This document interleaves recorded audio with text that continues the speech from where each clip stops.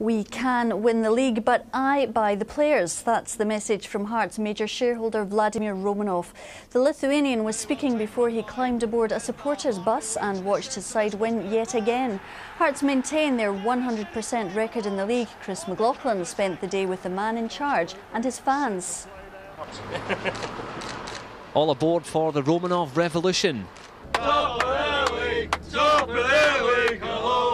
And the man who's taken them there was on hand to show he's as pleased as they are. I'm convinced that we can win the league. I'd like to reiterate what I've said before about the fans. The fans here are exceptional, um, and perhaps it's easier for me to see that coming from the outside.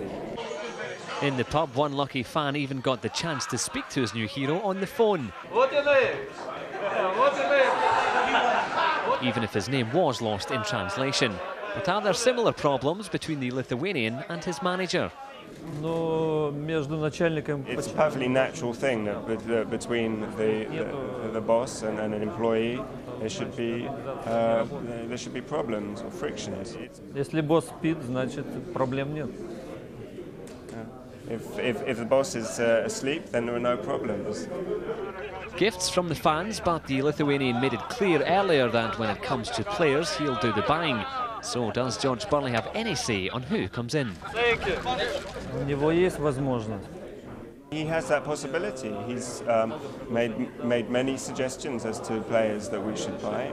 All I'm saying is that the final word lies with me. At the start of it, was a wee bit uh, wasn't sure what he was going to be like, but now he's put his money where his mouth is. He's coming along. He's uh, mingling with the supporters, and I think he's doing a great job. You know, he's standing up and being counted. I can't believe it. Um, it's an absolute privilege and an honour. And any Hearts supporter will tell you this is a man that saved their club. Few of his fellow fans would disagree.